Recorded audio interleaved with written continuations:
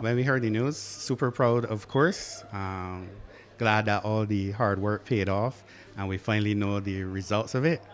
Uh, a little bit disappointed that her mom and Amirah couldn't be here.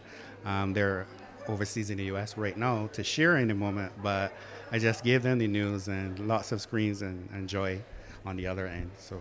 Tell me what was the preparation like for your child, for your? Um, well, you know, she was impacted by COVID just like a lot of other children.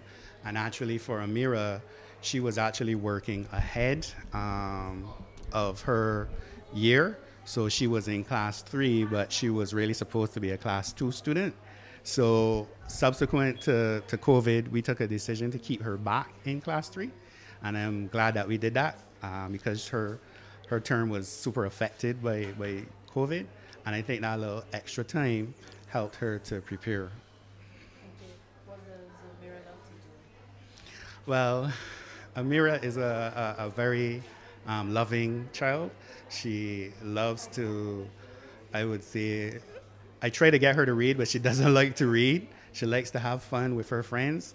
Um, just like everybody else in this generation, she's attached to her electronic devices. Um, she likes food. She likes to, to travel. And more than, than, than anything else, she likes to spend time with the, the students she has made, met here at People's Cathedral. Going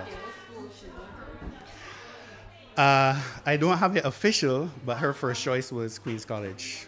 Yes.